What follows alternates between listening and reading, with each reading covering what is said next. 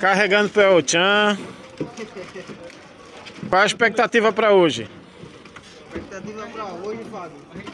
E, graças a Deus já deu tudo certo. Qual foi o primeiro evento como carregador, Júlio? Van Gogh. Van Gogh, Van Gogh foi sucesso, né? O que é que você fazia atrás da tenda lá no Van Gogh? Atrás da tenda, É, ia tomar água, né? é. Soube eh, de uma história que você trabalhando no Sul-Americano de Vôlei saiu numa cadeira de roda. Você sumiu meia hora, depois lhe viram numa cadeira de roda. O que é que você fez para precisar ficar sentado? Fábio, ali eu tava muito ruim, viu? Tava passando por um momento difícil. Sei. Por cima ou por baixo? Por baixo. Por baixo, né?